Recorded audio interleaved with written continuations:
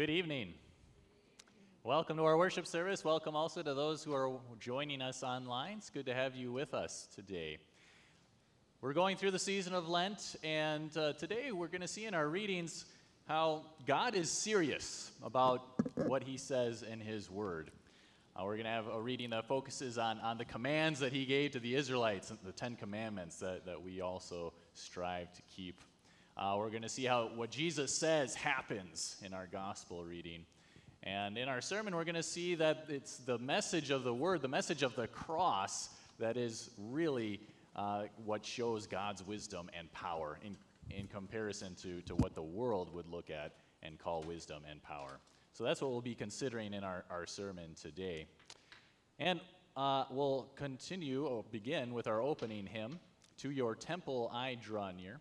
And may God bless our worship together this weekend.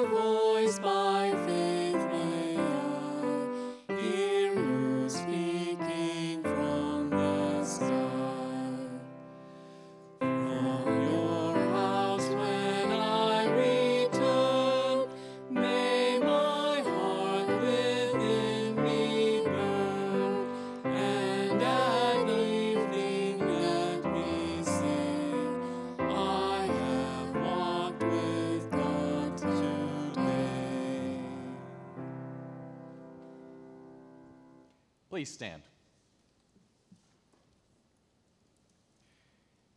Grace and peace to you from God our Father and his Son, Jesus Christ. Amen. Amen. We have come into the presence of God who created us to love and serve him as his dear children, but we have disobeyed him and deserve only his wrath and punishment. Therefore, let us confess our sins to him and plead for his mercy. Merciful Father in heaven, I am altogether sinful from birth. In countless ways I have sinned against you, and do not deserve to be called your child. But trusting in Jesus, my Savior, I pray, have mercy on me, according to your unfailing love. Cleanse me from my sin, and take away my guilt.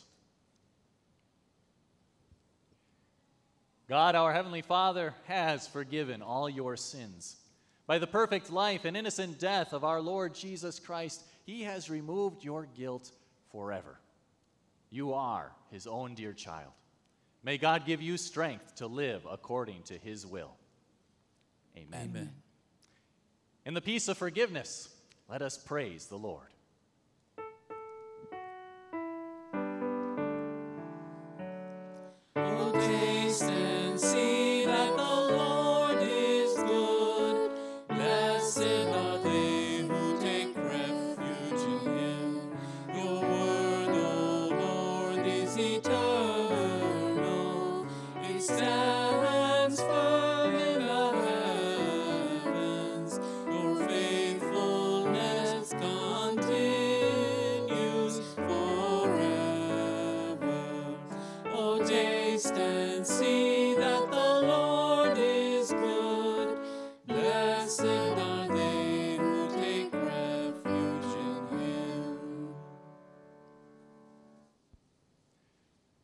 Almighty God, look with favor on your humble servants and stretch out the right hand of your power to defend us against all our enemies.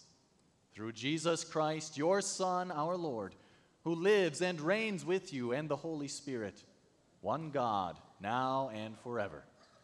Amen. Please be seated.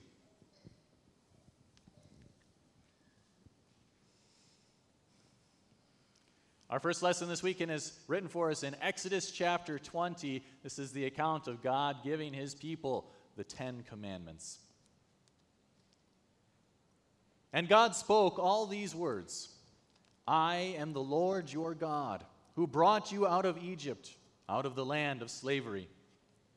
You shall have no other gods before me. You shall not make for yourself an image in the form of anything in heaven above, or on the earth beneath, or in the waters below. You shall not bow down to them or worship them, for I, the Lord your God, am a jealous God, punishing the children for the sin of the parents to the third and fourth generation of those who hate me, but showing love to a thousand generations of those who love me and keep my commandments. You shall not misuse the name of the Lord your God, for the Lord will not hold anyone guiltless who misuses his name. Remember the Sabbath day by keeping it holy. Six days you shall labor and do all your work, but the seventh day is a Sabbath to the Lord your God. On it you shall not do any work, neither you, nor your son or daughter, nor your male or female servant, nor your animals, nor any foreigner residing in your towns. For in six days the Lord made the heavens and the earth, the sea and all that is in them, but he rested on the seventh day. Therefore, the Lord blessed the Sabbath day and made it holy. Honor your father and your mother, so that you may live long in the land the Lord your God is giving you. You shall not murder. You shall not commit adultery. You shall not steal.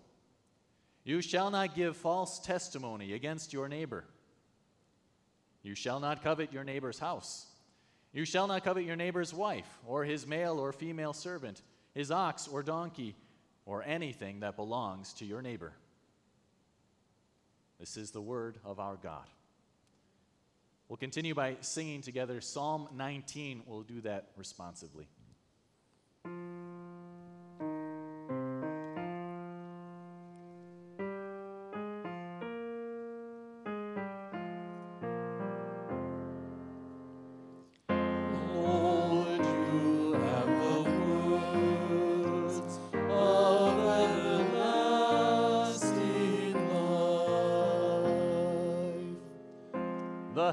Heavens declare the glory of God. The sky proclaims the Their voice goes out into all the earth.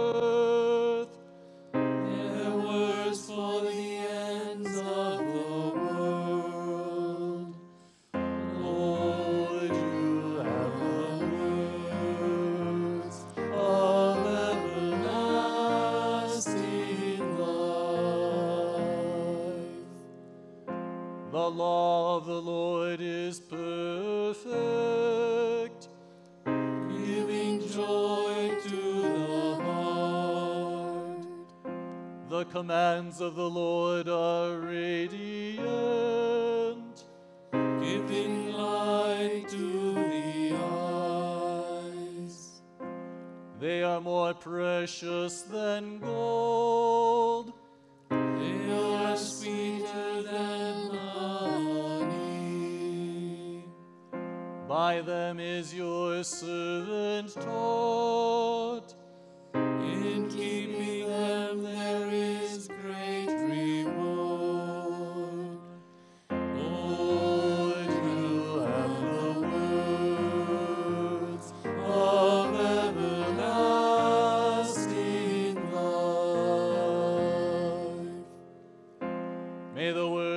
my mouth and the meditation of my heart be pleasing in your sight, O Lord, my Redeemer.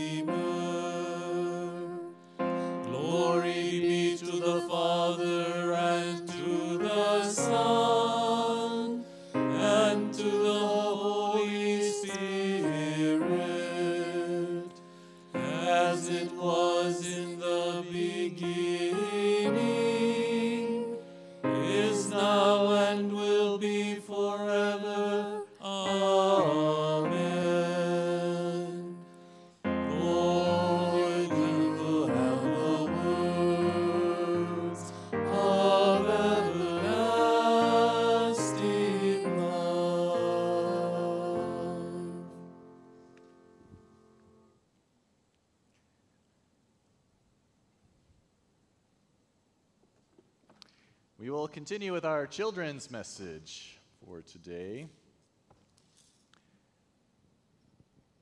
Kids who are watching online, gather around, take a look. What do I have here? Lots of cleaning supplies. Yeah, we've got the mop and the bucket. We've got some Windex for cleaning glass. We've got surface cleaner, disinfectant, and some brushes to help us clean anything that we might need to. Rags in there too. Sometimes it's good to get the chance to clean things that are dirty, right?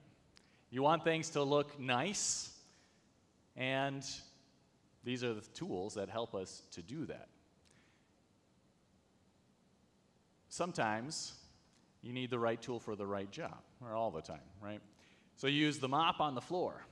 You use the uh, concentrated soap maybe to put in your water so that when you're mopping the floor, it cleans up the messes. You use glass cleaner for glass. You use surface cleaner for other surfaces. It's important to use the right tools. We see in our gospel reading for today that Jesus also had to do a little bit of cleaning. We're going to hear the story about how he drives people out of the temple who are misusing the place for their own ends. And so he, he even twists together a whip and he, he drives the people out of there. Because what he wanted people to know was that God is serious about his word. He wanted his temple to be used in a certain way. And Jesus was trying to help them to understand that. So he had to clean the place up. But Jesus doesn't only have concern for the temple that was there in, in Jerusalem, he's also got concern for each and every one of us. Because there's another temple that God speaks of, and that's the temple that's inside of us. God calls us his temple. And maybe there's a little bit of cleaning that needs to happen there too, right? Because we've got sin in our hearts, and sin should never be in the temple of our God. So, boys and girls, we can think about what, how are we going to clean that out? You need the proper tools, right? And Jesus gives us those tools. He shows us Himself. He's the only one that can clean out the mess that's in our hearts, right? And He did that. He did that by living a perfect life in our place, He did that by dying on the cross.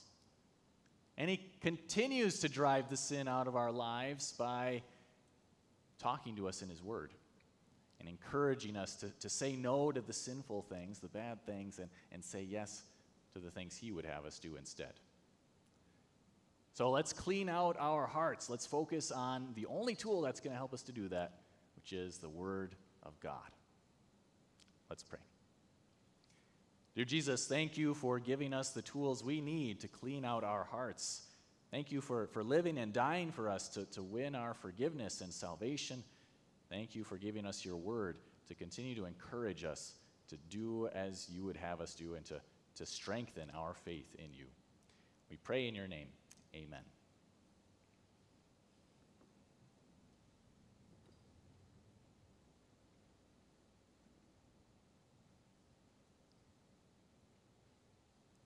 We continue with our verse of the day. Just as Moses lifted up the snake in the desert, so the Son of Man must be lifted up, that everyone who believes in him may have eternal life. Continue with the reading of our gospel, written for us in John chapter 2. This is the account of Jesus cleansing the temple. But we also see that he's serious about the word that he himself speaks because at the end we see him predict his own resurrection and hear that it is fulfilled.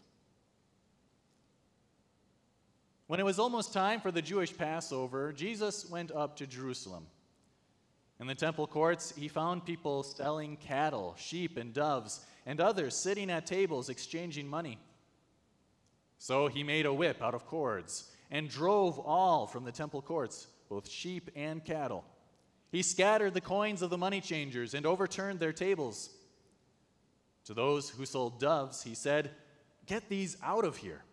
Stop turning my father's house into a market. His disciples remembered that it is written, Zeal for your house will consume me.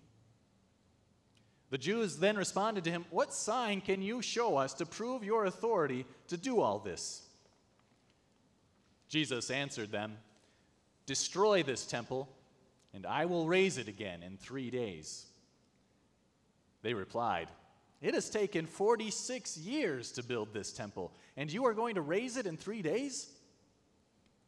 But the temple he had spoken of was his body. After he was raised from the dead, his disciples recalled what he had said.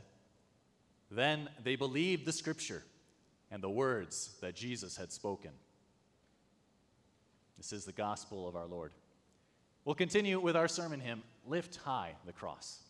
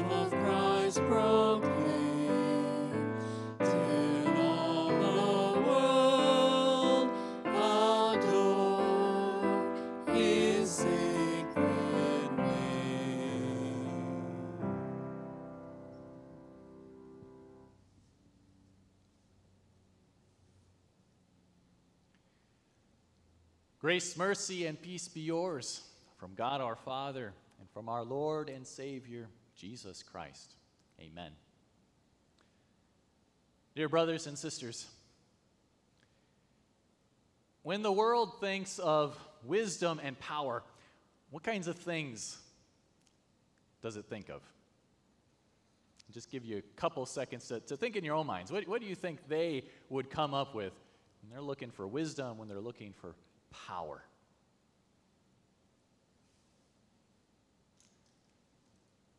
On the wisdom side, maybe they look to science, right? All the different ways that we can advance our technology, stave off uh, uh, disease and death. Maybe some people look to that as wisdom. Maybe some people look to important leaders of, uh, who, who, who uphold morality and, and tell you how you should live your life, like the Dalai Lama pictured there. Maybe that's what people look to for wisdom. Maybe people look to things in nature for wisdom. They look at the stars. There, there's the constellations that make up the zodiac in that picture. Maybe people go to their, their daily horoscopes and, and look to that and to find what's, what's the wisdom that I need for today to get through my life. On the power side of things, what might they look at? Maybe they look at military might, right? Well, the, the technology that goes into play there, the, the soldiers, instruments of, of warfare. Maybe they look to money. Because money can buy you whatever it is that you want. Or maybe, maybe they look to influence, those people that have authority and control over others. Maybe those are the things that, that they look to for power. And people want these things. They want wisdom. They want power. They want to figure out how life is supposed to work. They want to have control over their life. But unfortunately, what we're going to see is that none of the answers that the world provides actually satisfy. None of them provide the answers that we need or the control that we yearn for over life. Fortunately, though, there is a place that we can look for those things. We can look to our God. We can look to His wisdom. We can look to His power. And in the words before us, what we're going to see is that God shows us His wisdom and power, but in a very unexpected way. He shows us His wisdom and power in the message of the cross, of His Son, Jesus Christ, and, Him crucified. That's where we find all the wisdom that we will ever need. There, that's where we find power at work for us. And so, our theme for today the message of the cross is the wisdom and power of God. We're turning to the book of First Corinthians in the New Testament, chapter 1, verses, sorry, 18 to 25, that should say. So, for the message of the cross is foolishness to those who are perishing, but to us who are being saved, it is the power of God. For it is written, I will destroy the wisdom of the wise, the intelligence of the intelligent I will frustrate. Where is the wise person? Where is the teacher of the law? Where is the philosopher of this age? Has not God made foolish the wisdom of the world? For since in the wisdom of God, the world through its wisdom did not know him, God was pleased through the foolishness of what was preached to save those who believe. Jews demand signs, and Greeks look for wisdom. But we preach Christ crucified, a stumbling block to Jews and foolishness to Gentiles. But to those whom God has called, both Jews and Greeks, Christ, the power of God and the wisdom of God. For the foolishness of God is wiser than human wisdom, and the weakness of God is stronger than human strength. This is the word of our God. As we talk about these words, we're going we're to break it really into two categories. We're going to talk about wisdom and power. So we'll start with wisdom. People really yearn to know answers to life's tough questions, right? Whether or not they, they want to admit that or not, everybody is, is interested in answers to questions like these okay? Who am I? Is there a God? What's my purpose?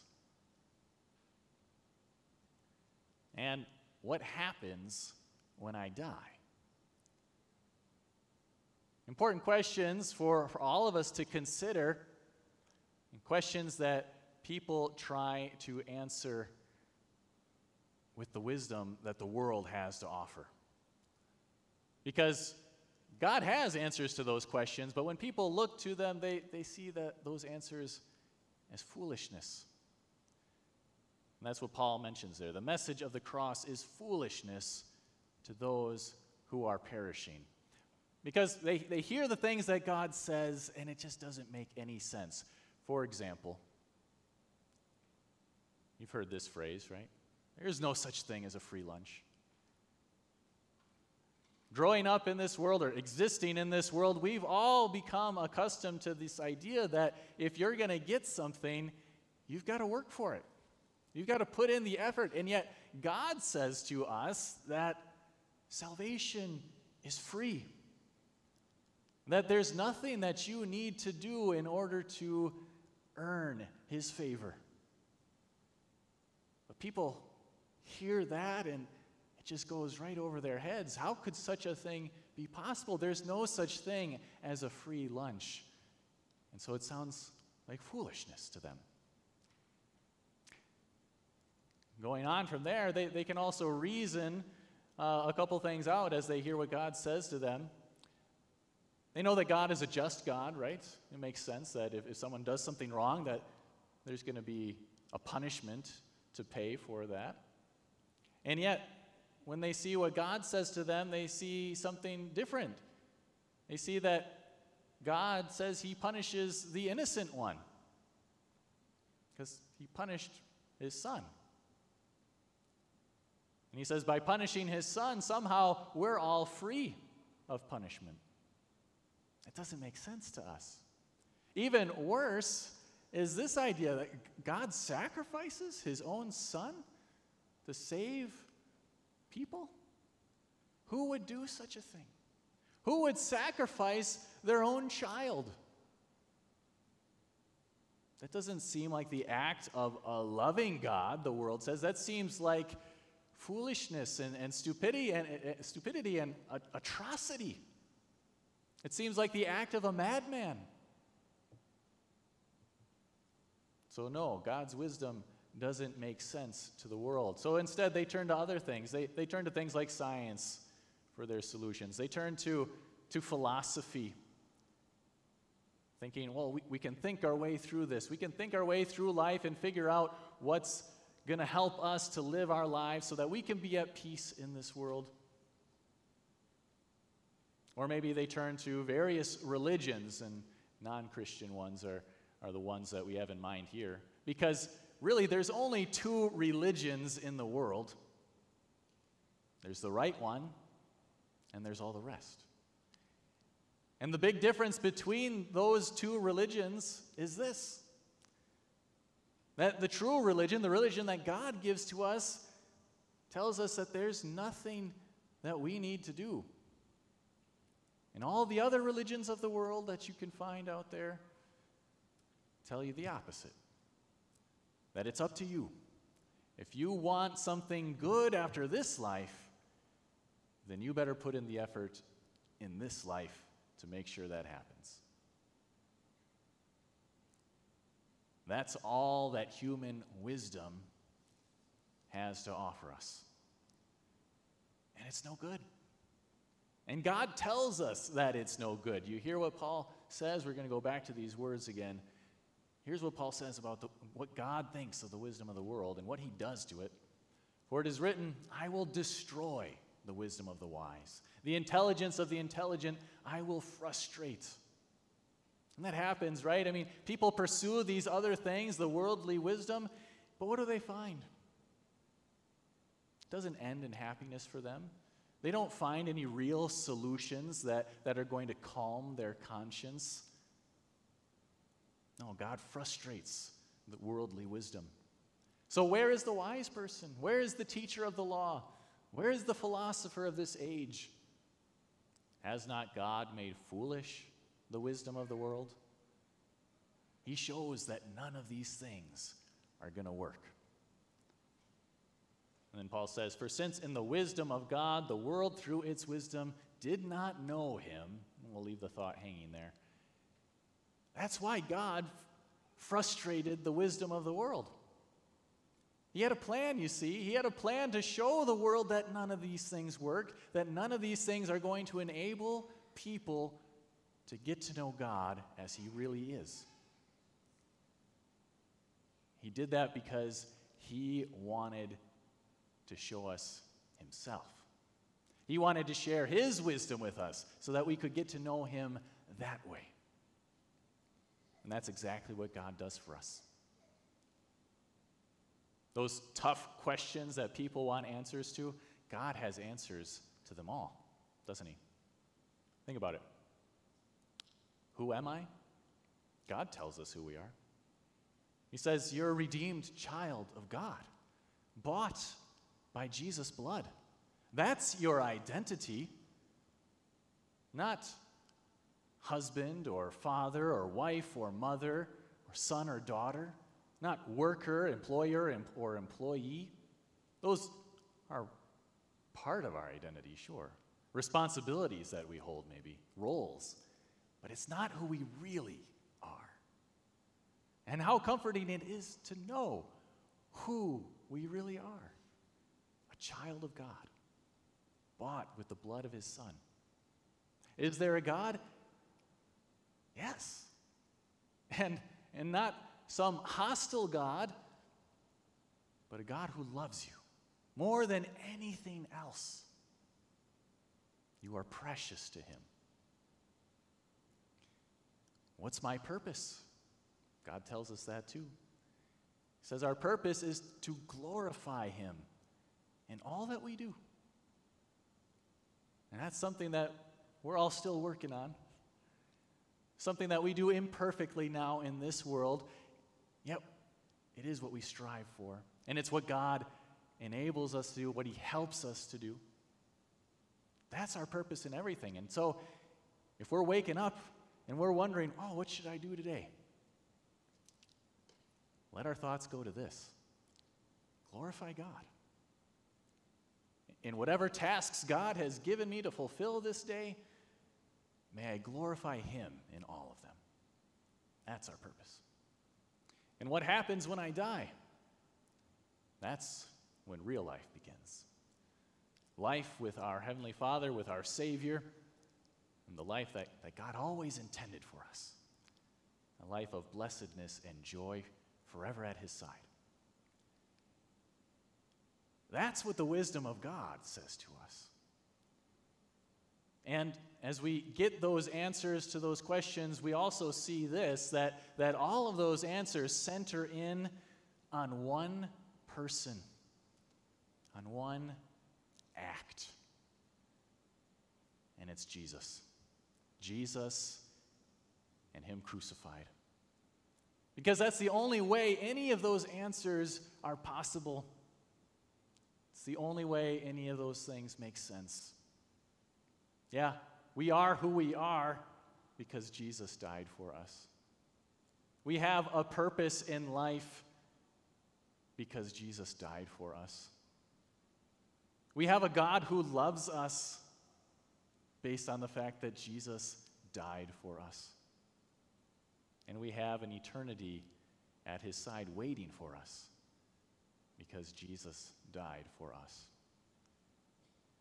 So, Christ crucified is God's wisdom. It's His answer to all the problems of this world. It's what defeats sin and Satan and death. Christ, the wisdom of God. And yeah, though it seems foolishness to the world, the fact is, well, God's foolishness, so called, is way wiser than man's wisdom, as Paul said in that letter, right? So we've talked about wisdom. What about power? We, we threw these pictures up on the screen earlier to talk about what the world thinks of as power. This is what they look to. They want control over their lives. They look to exert influence over others, and any way that they can do that, they'll pursue it. You can think of different leaders of the world. You can think of people in business you can think of people on, on social media or in, or in Hollywood, right? Exercising their power, trying to get more of it. For what? For a life that finally still ends in death. And what have they gained? Really, nothing at all.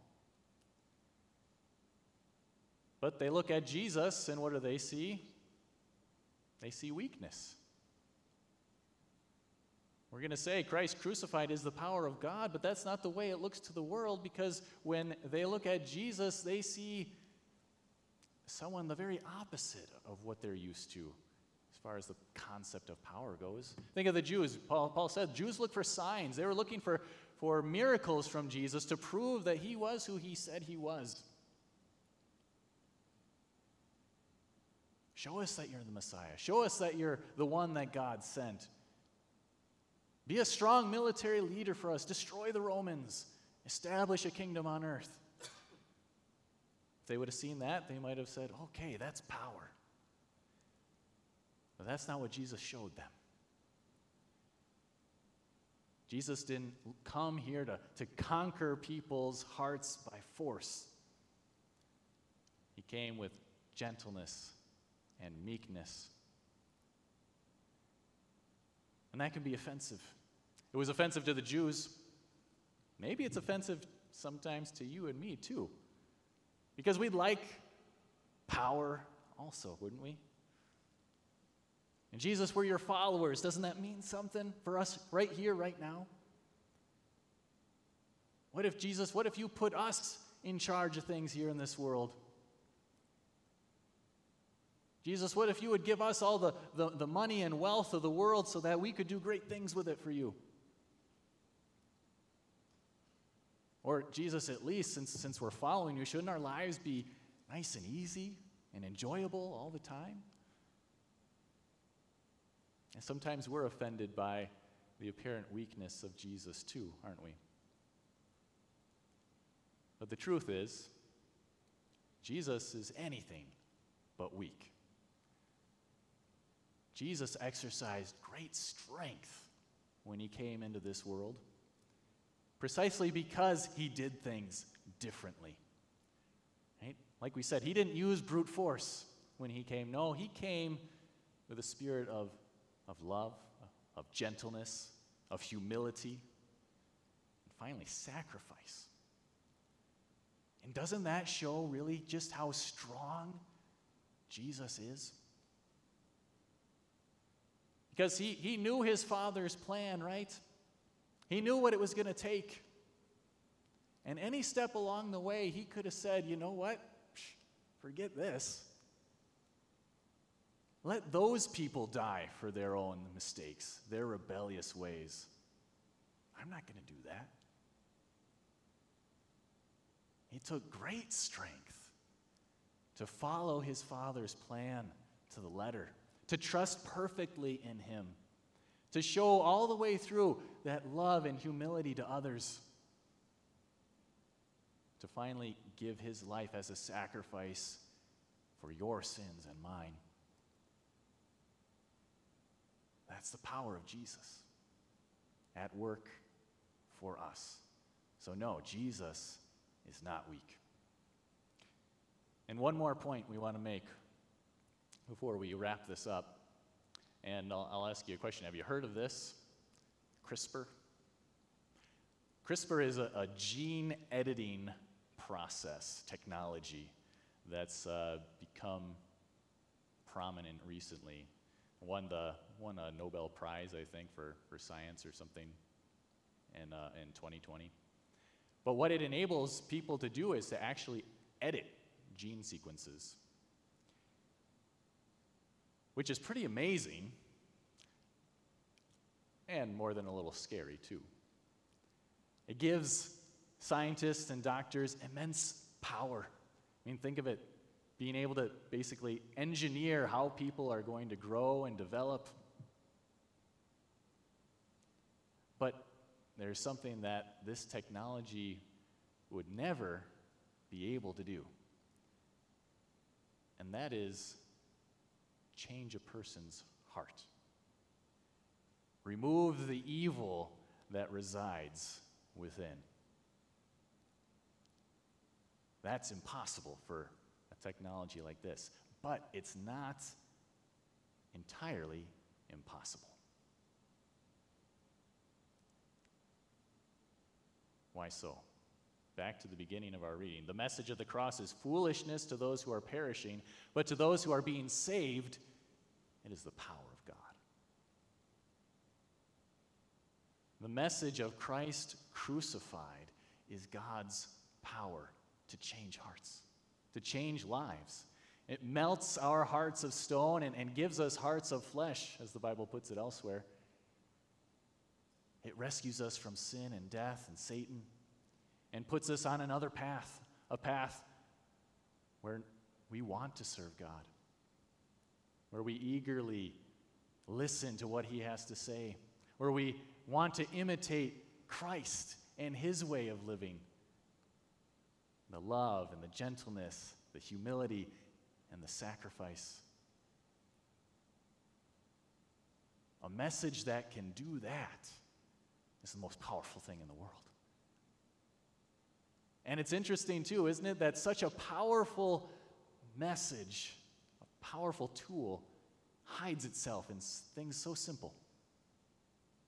Words, water connected to those words, bread and wine connected to those words. And yet, these things are the power of God that change people's hearts, that take care of the problem of sin and, and enable us to live at peace in our lives here in this world. Peace with each other and peace with God. Nothing could be more powerful, nothing could be more wise. So, brothers and sisters, yes, the message of the cross is the wisdom and power of God. If we're looking for wisdom and power, let's go no further than Jesus Christ. If we want to tell other people what true wisdom and power is, let's be like Paul and the rest of the Christian church and resolve to know nothing but Jesus Christ and Him crucified. Amen. Please stand.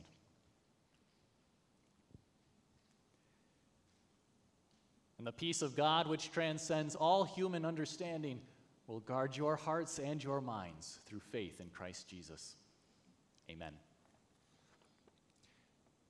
We'll continue by confessing our faith together. We'll use the words of the Nicene Creed today. We believe, we believe in, one in one God, God the Father, the, the Almighty, maker of heaven and earth, of all that is seen and unseen. We believe in one Lord, Jesus Christ, the only Son of God, eternally begotten of the Father, God from God, light from light, true God from true God, begotten, not made, of one being with the Father. Through him all things were made. For us and for our salvation, he came down from heaven, was incarnate of the Holy Spirit and the Virgin Mary, and became fully human. For our sake he was crucified under Pontius Pilate. He suffered death and was buried. On the third day he rose again in accordance with the Scriptures. He ascended into heaven and is seated at the right hand of the Father. He will come again in glory to judge the living and the dead, and his kingdom will have no end. We believe in the Holy Spirit, the Lord, the giver of life, who proceeds from the Father and the Son, who in unity with the Father and the Son is worshipped and glorified, who has spoken through the prophets. We believe in one holy Christian and apostolic church we acknowledge one baptism for the forgiveness of sins. We look for the resurrection of the dead and the life of the world to come. Amen. Please be seated. We'll continue with the song of the season. Sin,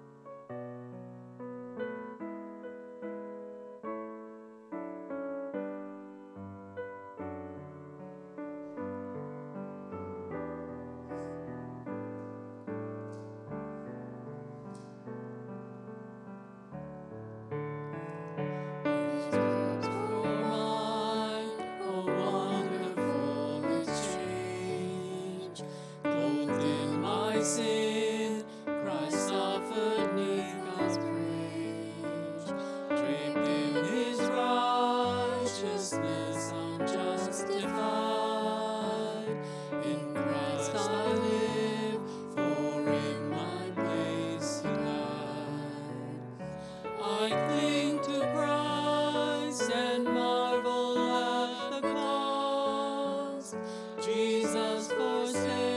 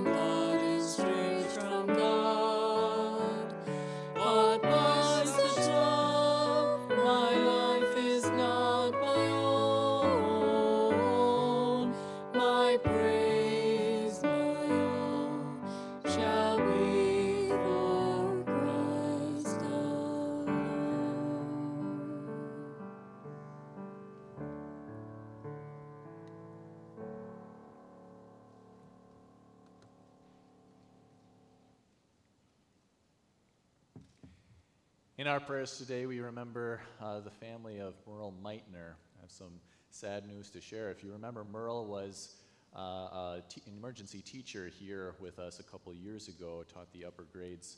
Uh, we just learned that he passed away yesterday after having a heart attack. So, so we'll be praying for his family tonight uh, and also giving thanks to God for, for the life he gave him and now the true life that he's experiencing at his side. So please rise for prayer. We'll, we'll thank God for all the blessings that He's given to us. And uh, if you have an offering to give tonight, you may do so in the plates at the back of the room or, or give online.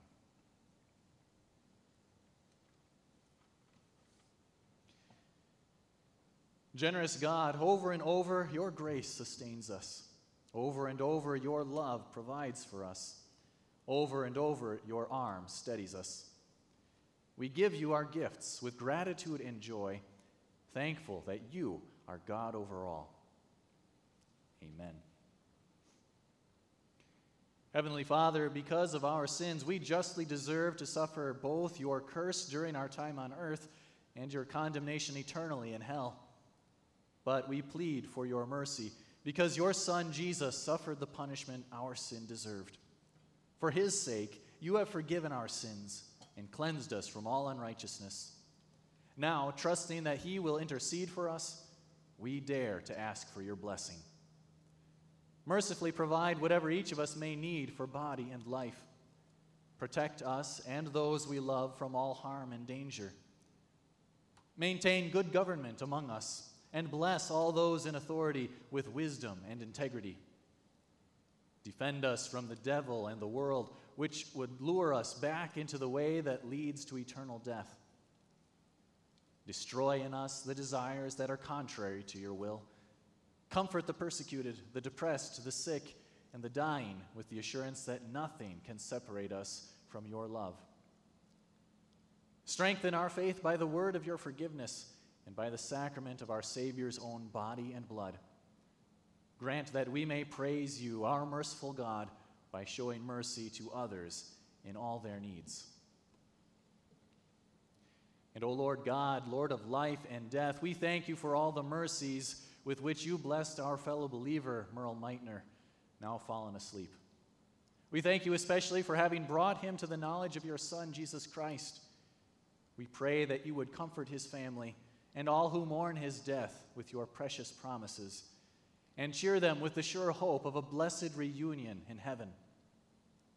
Grant the lifeless body rest, and at last, together with us all, a joyful resurrection to life everlasting. Teach us to number our days aright, that we may gain hearts of wisdom and finally be saved through Jesus Christ, our risen and ever living Lord. And hear us, Lord, as we bring you our private petitions.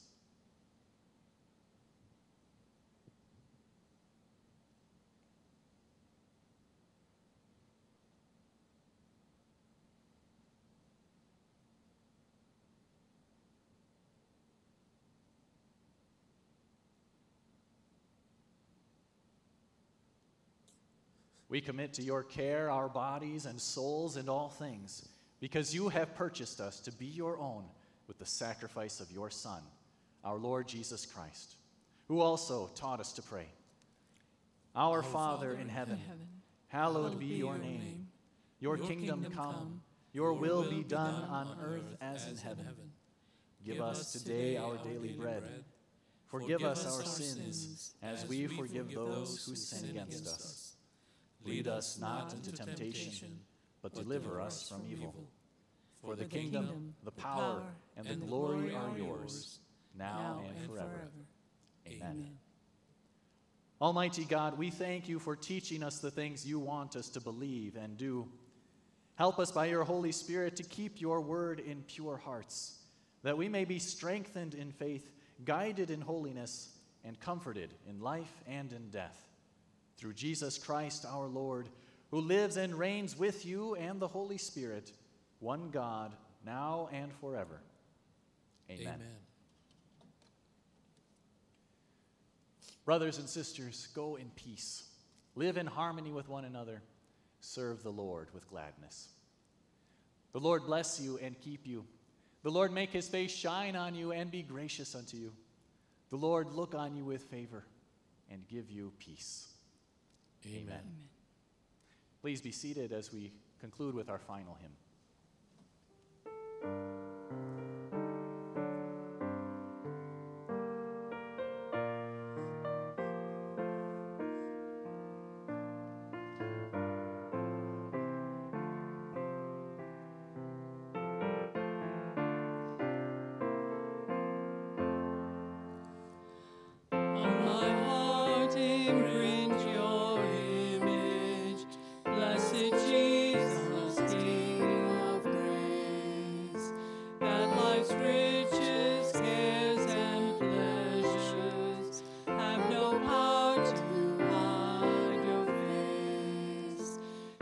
The superscription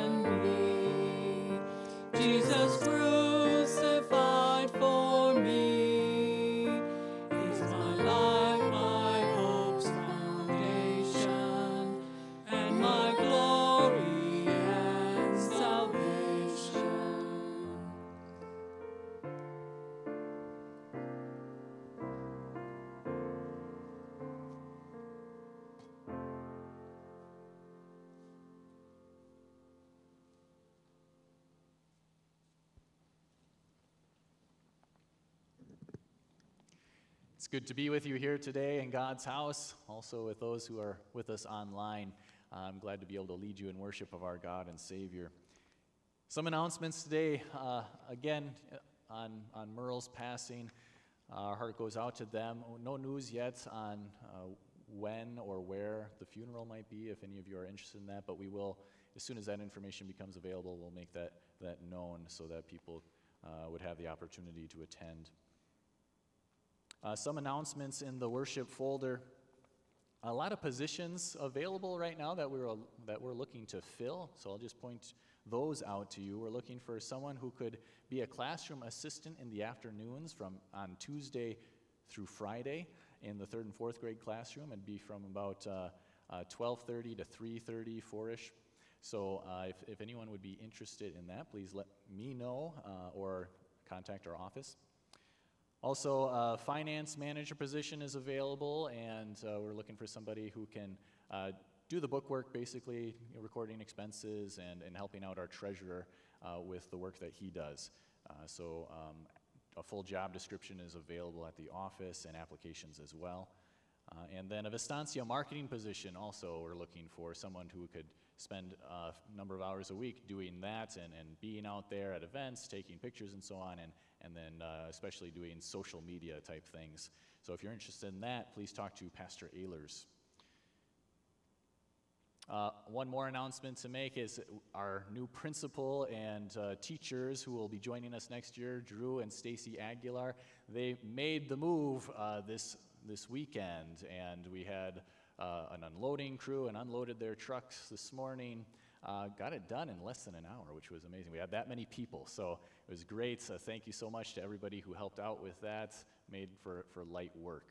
Um, they'll be heading back to California after, um, well, tomorrow on Sunday, and uh, they'll finish out the school year, and then, they'll be joining us permanently in the summer. So we're thankful uh, that, uh, that stage one is complete at least, and, and they've got a place to live, and their, their, their majority of their things are here. Those are the announcements. Uh, we will be celebrating the, the sacrament in just a few moments, so I'll go get ready for that. And, and uh, blessings on, on uh, your week and your day for those who, who are uh, leaving before that happens.